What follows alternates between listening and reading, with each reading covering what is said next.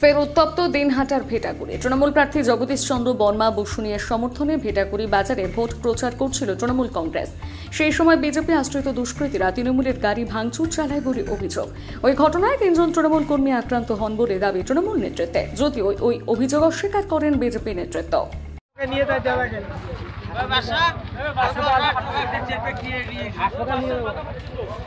আরে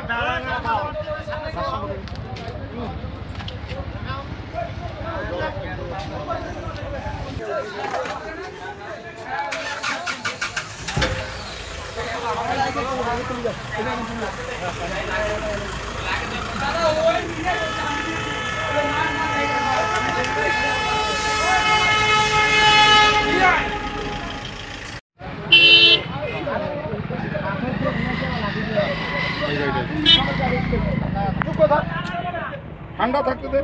বলছি হ্যাঁ। সামনে